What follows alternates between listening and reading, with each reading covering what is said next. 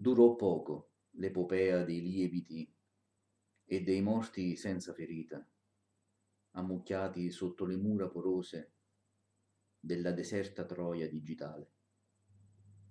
Era ignoto il grano raccolto da macinare al buio di epoche in declino.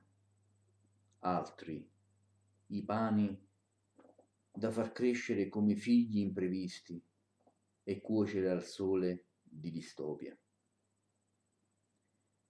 Ma il guardiano di storie conosceva già quella fine raccontata dagli avi.